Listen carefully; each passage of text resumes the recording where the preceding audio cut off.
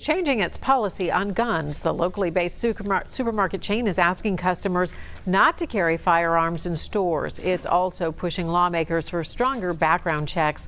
This comes just hours after Walmart did the same thing and said it will stop carrying ammunition. Walmart CEO says, quote, it is clear the status quo is unacceptable. And